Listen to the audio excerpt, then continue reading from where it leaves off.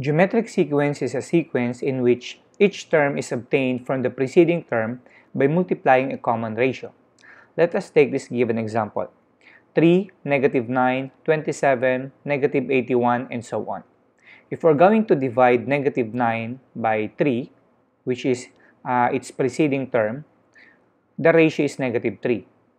27 divided by its preceding term, which is negative 9, the ratio is also negative 3. Similarly, negative 81 divided by 27, the ratio is also negative 3. Notice that uh, the ratio is common.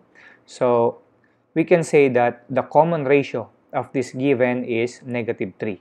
And this tells us that since it has a common ratio, this sequence is called a geometric sequence. So let us answer a geometric sequence example. Find the eighth term of the geometric sequence of numbers 5, 10, and so on and so forth. So this kind of problem can be solved by using formula a sub n is equal to a sub 1 times r raised to n minus 1, where a sub n is the last term, a sub 1 is the first term, n is the number of terms, and r represents the common ratio. So let's start by writing down our given from the problem. So in here, our n is 8 because we are asked to find the 8th term. So we know that our n here is 8. So our a sub 1 is 5 because our first term here is 5. And our common ratio is 2 because 10 divided by 5 or 20 divided by 10, this gives us uh, 2.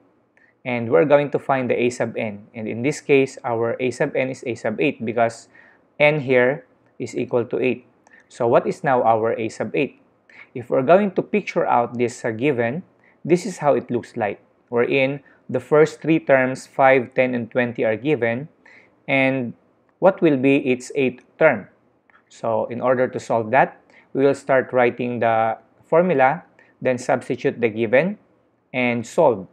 So by the order of operation, we'll start with exponent. 8 minus 1 is 7.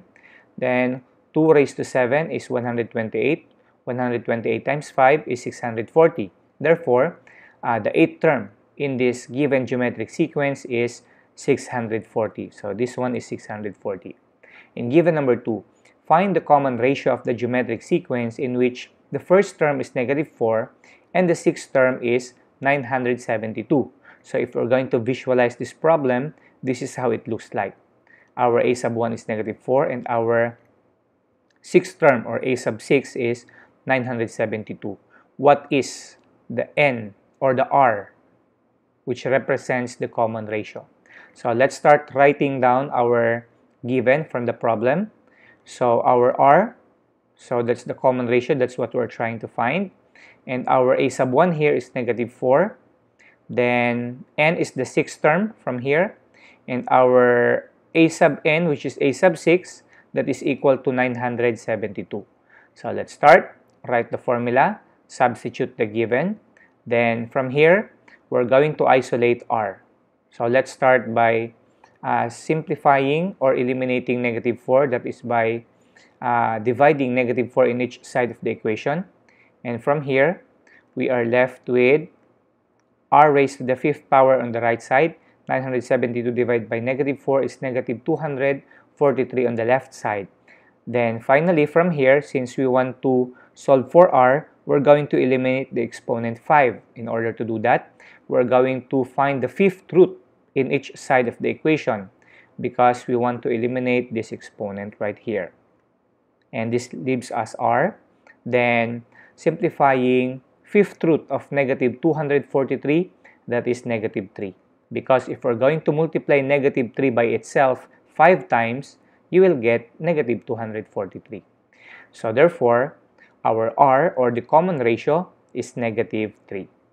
In our last example, uh, in a given geometric sequence 2, 4, and so on, which term is 128? So if we're going to draw this, this is how it looks like. So the first three terms are given, and one of the terms, which is 128, is also given, but we have no clue which term is it. So we are now going to find the n here. So let's start uh, laying down our given. So from our problem, our a sub 1 is 2, obviously. And our common ratio r is 2.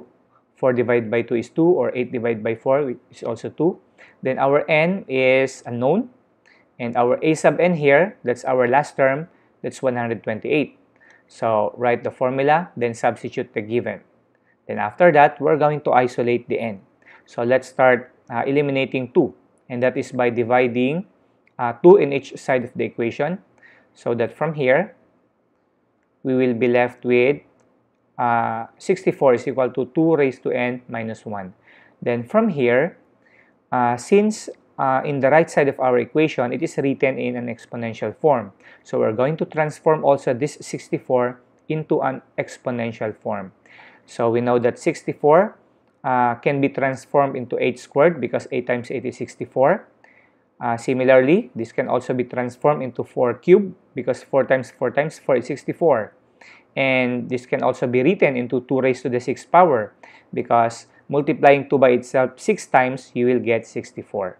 Now, which of these exponential form are we going to uh, change 64? So in this case, we're going to use 2 raised to the 6th power. For what purpose? Because the base of this exponential form is 2, which is the same with uh, the right uh, side of our equation. So change 64 into 2 raised to the 6th power. So since the bases are now the same, we can now focus on the exponent. 6 is equal to n minus 1. So in this equation, we can finally isolate n by adding 1 in each side of the equation. And our n here is equal to 6 plus 1, that is 7. Therefore, uh, 128 is in the seventh term in this given geometric sequence.